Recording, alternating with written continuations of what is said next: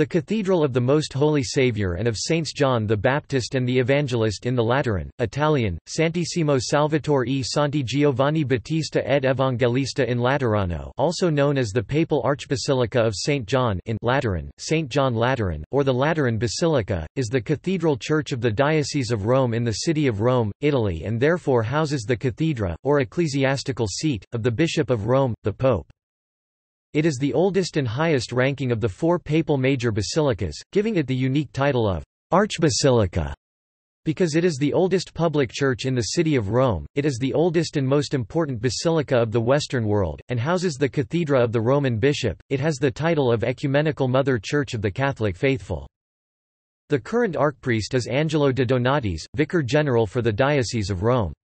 The President of the French Republic, currently Emmanuel Macron, is ex officio the first and only honorary canon of the Archbasilica, a title that the heads of state of France have possessed since King Henry IV. The large Latin inscription on the façade reads, Clemens 12 Pont Max Anno v Christo Salvatori in hun ss Johann Bapt et Evang.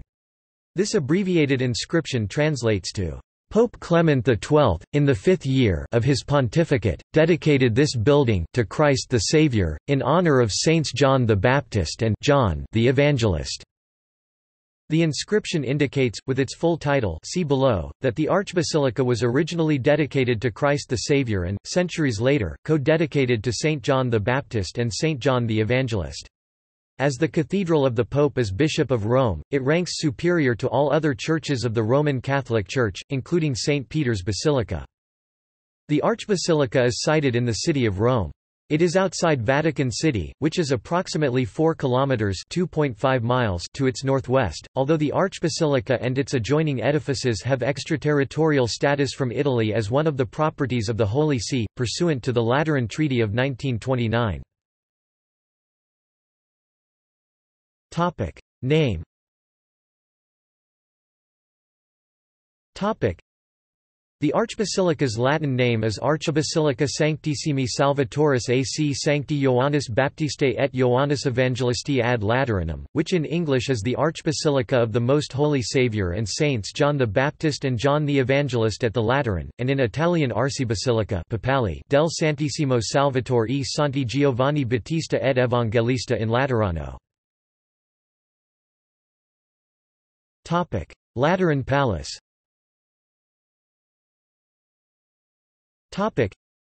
The Archbasilica stands over the remains of the Castra Nova Equitum Singularium, the new fort of the Roman imperial cavalry bodyguards. The fort was established by Septimius Severus in AD 193. Following the victory of Emperor Constantine I over Maxentius for whom the Equites Singulares Augusti, the emperor's mounted bodyguards had fought at the Battle of the Milvian Bridge, the guard was abolished and the fort demolished. Substantial remains of the fort lie directly beneath the nave. The remainder of the site was occupied during the early Roman Empire by the palace of the gens Laterani. Sextius Lateranus was the first plebeian to attain the rank of consul, and the Laterani served as administrators for several emperors. One of the Laterani, consul designate Plautius Lateranus, became famous for being accused by Nero of conspiracy against the emperor. The accusation resulted in the confiscation and redistribution of his properties. The Lateran palace fell into the hands of the emperor when Constantine I married his second wife Fausta, sister of Maxentius. Known by that time as the Domus Fausti, or House of Fausta. The Lateran Palace was eventually given to the Bishop of Rome by Constantine I. The actual date of the donation is unknown, but scholars speculate that it was during the pontificate of Pope Miltiades, in time to host a synod of bishops in 313 that was convened to challenge the Donatist schism, declaring Donatism to be heresy. The palace basilica was converted and extended, becoming the residence of Pope Street Sylvester I, eventually becoming the Cathedral of Rome, the seat of the popes as the bishops of Rome. The Middle Ages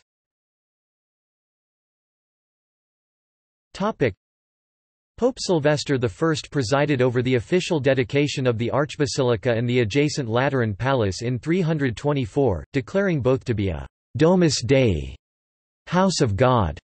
The papal cathedra was placed in its interior, rendering it the Cathedral of the Pope as Bishop of Rome.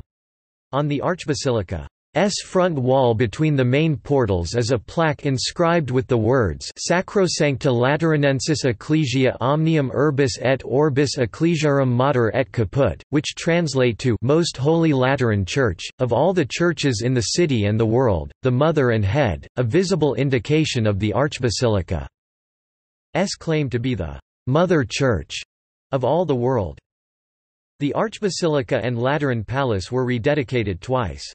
Pope Sergius III dedicated them to Saint John the Baptist in the 10th century in honor of the newly consecrated baptistry of the Archbasilica. Pope Lucius II dedicated them to John the Evangelist in the 12th century. Thus, Saint John the Baptist and Saint John the Evangelist are co-patrons of the Archbasilica, while the primary patron is Christ the Saviour, as the inscription in the entrance indicates and as is traditional for patriarchal cathedrals. Consequently, the Archbasilica remains dedicated to the Saviour, and its titular feast is the Feast of the Transfiguration. The Archbasilica became the most important shrine of the two St. Johns, albeit infrequently jointly venerated. In later years, a Benedictine monastery was established in the Lateran Palace, and was devoted to serving the Archbasilica and the two saints. Every pope, beginning with Pope Miltiades, occupied the Lateran Palace until the reign of the French Pope Clement V, who in 1309 transferred the seat of the papacy to Avignon, a papal fiefdom that was an enclave in France. The Lateran Palace has also been the site of five ecumenical councils see Lateran councils. Lateran fires during the time the papacy was seated in Avignon, France, the Lateran Palace and the Archbasilica deteriorated. Two fires ravaged them in 1307 and 1361. After both fires the Pope sent money from Avignon to pay for their reconstruction and maintenance. Nonetheless, the Archbasilica and Lateran Palace lost their former splendor. When the papacy returned from Avignon and the pope again resided in Rome, the Archbasilica and the Lateran Palace were deemed inadequate considering their accumulated damage. The popes resided at the Basilica di Santa Maria in Trastevere and later at the Basilica di Santa Maria Maggiore. Eventually, the Palace of the Vatican was built adjacent to the Basilica of St. Peter, which existed since the time of Emperor Constantine I, and the popes began to reside there. It has remained the official residence of the Pope though Pope Francis unofficially resides elsewhere in the Vatican City. Reconstruction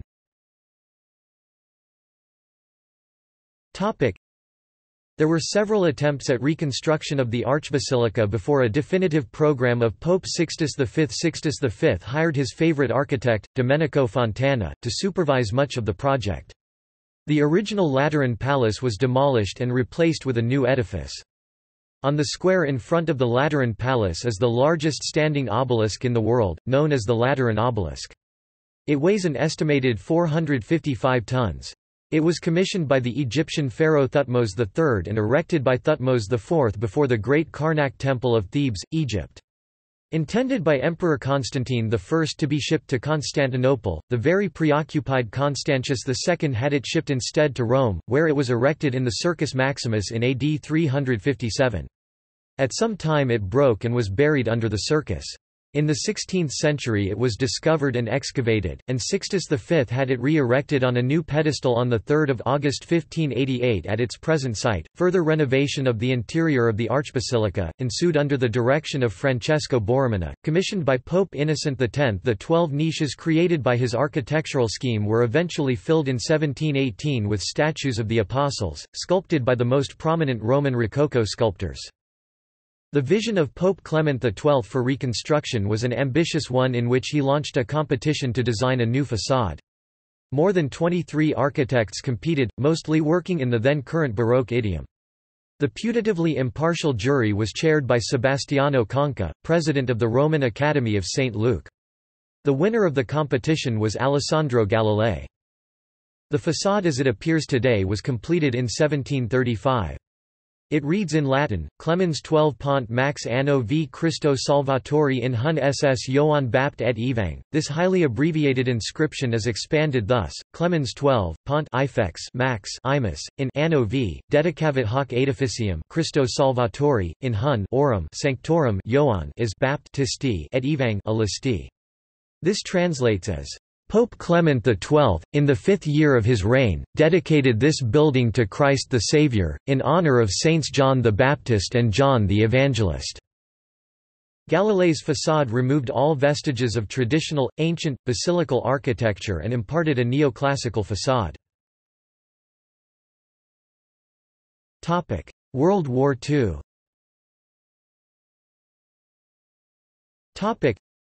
during the Second World War, the Lateran and its related buildings were used under Pope Pius XII as a safe haven from the Nazis and Italian fascists for numbers of Jews and other refugees. Among those who found shelter there were Meuccio Ruini, Alcide de Gasperi, Pietro Nenni and others. The Daughters of Charity of Saint Vincent de Paul and the 60 orphan refugees they cared for were ordered to leave their convent on the Via Carlo Emanuele. The Sisters of Maria Bambina, who staffed the kitchen at the Pontifical Major Roman Seminary at the Lateran offered a wing of their convent. The grounds also housed Italian soldiers. Vincenzo Fagiolo and Pietro Palazzini, vice rector of the seminary, were recognized by Yad Vashem for their efforts to assist Jews. Topic: Architectural history.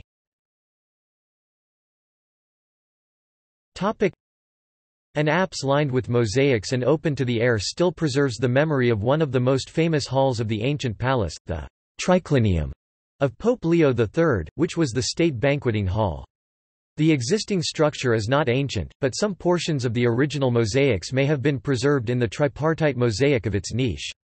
In the center Christ gives to the apostles their mission, on the left he gives the keys of the kingdom of heaven to Pope Saint Sylvester and the labarum to Emperor Constantine I, and on the right Saint Peter gives the papal stole to Pope Leo III and the standard to Charlemagne. Some few remains of the original buildings may still be traced in the city walls outside the Gate of St. John, and a large wall decorated with paintings was uncovered in the 18th century within the Archbasilica behind the Lancellotti Chapel. A few traces of older buildings were also revealed during the excavations of 1880, when the work of extending the apse was in progress, but nothing of importance was published. A great many donations from the popes and other benefactors to the Archbasilica are recorded in the Liber Pontificalis, and its splendor at an early period was such that it became known as the Basilica Aurea, or Golden Basilica. This splendor drew upon it the attack of the Vandals, who stripped it of all its treasures. Pope Leo I restored it around AD 460, and it was again restored by Pope Hadrian. In 897, it was almost totally destroyed by an earthquake, ab alteri usque ad porta succidit. It collapsed from the altar to the doors. The damage was so extensive that it was difficult to trace the lines of the old building, but these were mostly respected and the new building was of the same dimensions as the old.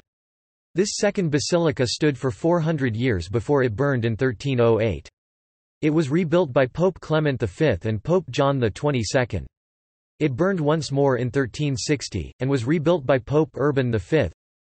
Through vicissitudes the archbasilica retained its ancient form, being divided by rows of columns into aisles, and having in front a peristyle surrounded by colonnades with a fountain in the middle, the conventional late antique format that was also followed by the old St. Peter's Basilica. The facade had three windows and was embellished with a mosaic representing Christ as the Savior of the world. The porticos were frescoed, probably not earlier than the 12th century, commemorating the Roman fleet under Vespasian, the taking of Jerusalem, the baptism of Emperor Constantine I and his donation of the Papal States to the Catholic Church.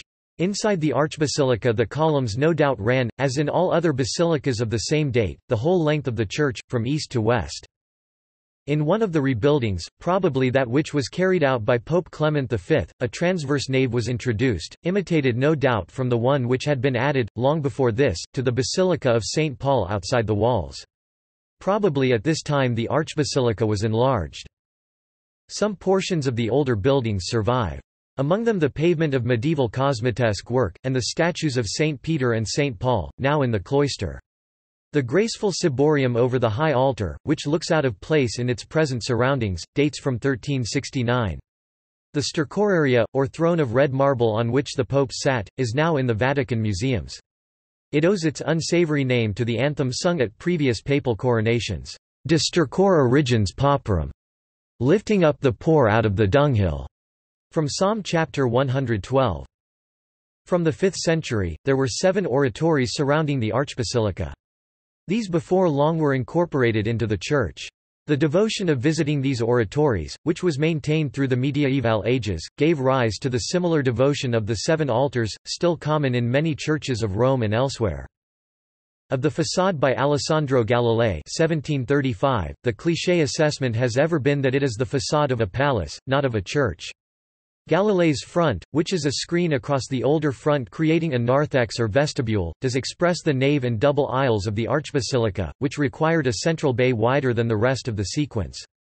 Galilei provided it, without abandoning the range of identical arch-headed openings, by extending the central window by flanking columns that support the arch, in the familiar Serlian motif. By bringing the central bay forward very slightly, and capping it with a pediment that breaks into the roof balustrade, Galilei provided an entrance doorway on a more than colossal scale, framed in the paired colossal Corinthian pilasters that tie together the façade in the manner introduced at Michelangelo's palace on the Campidoglio. Statues of the Apostles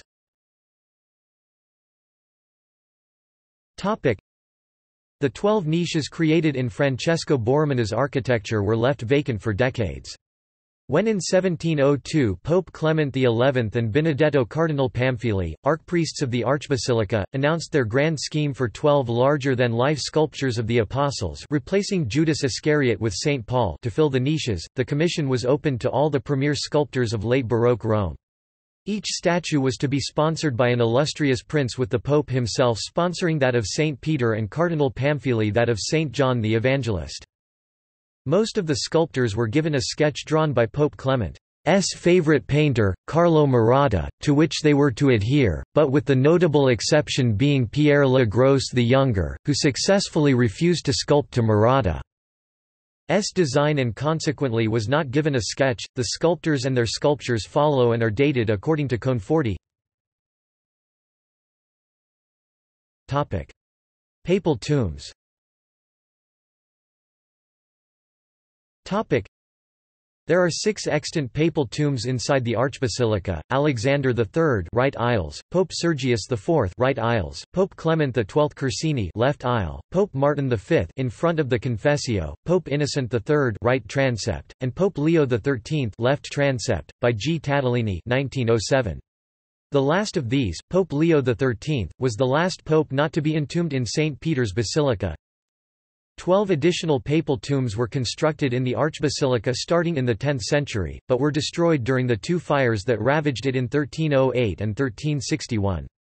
The remains of these charred tombs were gathered and reburied in a polyandrum. The popes whose tombs were destroyed are Pope John X (914–28), Pope Agapetus II (946–55), Pope John XII (955–64), Pope Paschal II (1099–1118), Pope Calixtus II (1119–24), Pope Honorius II (1124–30), Pope Celestine II (1143–4), Pope Lucius II (1144–5), Pope Anastasius IV (1150 1153–4, Pope Clement III (1187–91), Pope Celestine III (1191–8), and Pope Innocent V (1276). Popes who reigned during this period, whose tombs are unknown, and who may have been buried in the Archbasilica include Pope John XVII 1003, Pope John XVIII 1003–9, and Pope Alexander II 1061–73. Pope John X was the first pope buried within the walls of Rome, and was granted a prominent burial due to rumors that he was murdered by Theodora during a historical period known as the Saeculum Obscurum. Cardinals Vincenzo Santucci and Carlo Colonna are also buried in the Archbasilica. Lateran cloister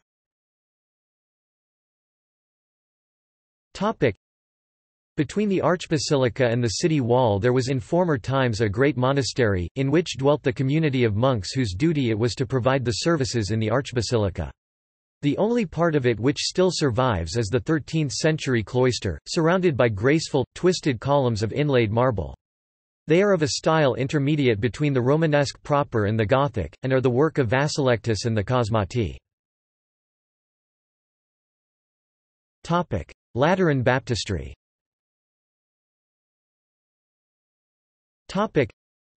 The octagonal Lateran baptistry stands somewhat apart from the archbasilica.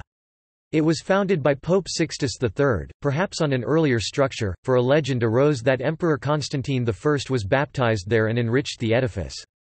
The baptistry was for many generations the only baptistry in Rome, and its octagonal structure, centered upon the large basin for full immersions, provided a model for others throughout Italy, and even an iconic motif of illuminated manuscripts known as the Fountain of Life. Topic: Holy Stairs. Topic: The Scala Sancta, or Holy Stairs, are white marble steps encased in wooden ones. According to Catholic tradition, they form the staircase which once led to the praetorium of Pontius Pilate in Jerusalem and which, therefore, were sanctified by the footsteps of Jesus Christ during his passion. The marble stairs are visible through openings in the wooden risers.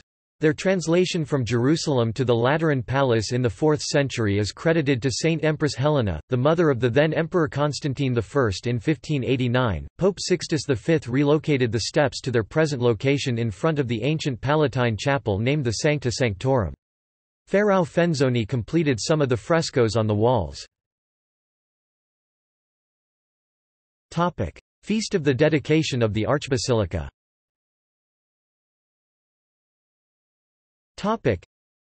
In the general Roman calendar of the Catholic Church, the 9th of November is the feast of the dedication of the Arch Basilica of the Lateran Dedicatio Basilicae Lateranensis, and is referred to in older texts as the dedication of the Basilica of the Most Holy Saviour.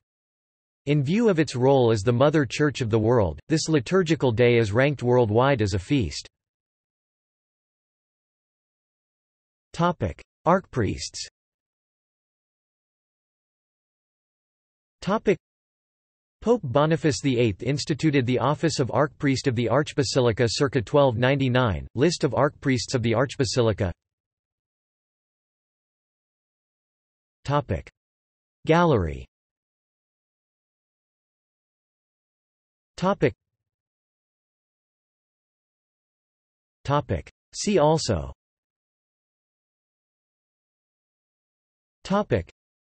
Early Christian art and architecture. Index of Vatican City-related articles. Colegio de San Juan de Latran, a Philippine school named after the Archbasilica. Topic. Notes and references. Topic. Bibliography. Topic. External links Topic. High-resolution virtual tour of St. John Lateran, from the Vatican. Satellite photo of St. John Lateran Constantine's obelisk San Giovanni in Laterano High-resolution 360 degrees panoramas and images of Archbasilica of St. John Lateran, Art Atlas